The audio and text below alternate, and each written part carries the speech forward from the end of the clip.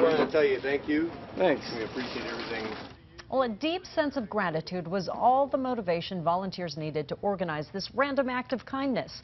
Volunteers dropped off boxes of water, chips, and other goodies at three fire stations today, including this one in South Seattle. One firefighter told us the effort and the thought really goes a long way. Oh, it means a lot. You know, obviously, one of the reasons why we do it is to give back to the community and interact with the community and have their support it means a lot to us.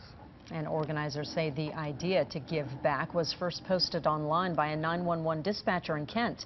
And from there, volunteers jumped on the idea, got several boxes together.